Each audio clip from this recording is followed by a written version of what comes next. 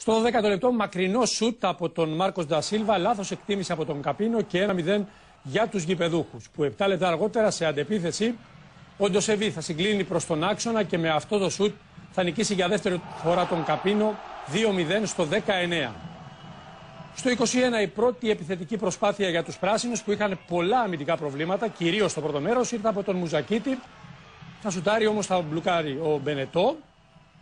Και 5 λεπτά αργότερα, στο 26ο λεπτό, ο Ντοσεβί θα κάνει τη σέντρα, ο Καπίνο δεν μπορεί να διώξει την μπάλα εδώ και αυτό γκολ από τον ανενόχλητο Μέντες για το 3-0. Στο 36 η επόμενη καλή προσπάθεια για τον Παναθηναϊκό θα εκμεταλλευτεί ο Μουζακίτης στο λάθος της άμυνας. Στο σουτ η μπάλα θα φύγει out. Στην επανάληψη, συγκεκριμένα στο 57, ο Παναθηναϊκός θα ψάξει για τον γκολ με τον ε, Ζέκα εδώ να κάνει τη σέντρα. Ο Μπαϊράμι θα κάνει την κεφαλιά στο δεύτερο δοκάρι ανενόχλητος, όμως θα στείλει την μπάλα ψηλά out.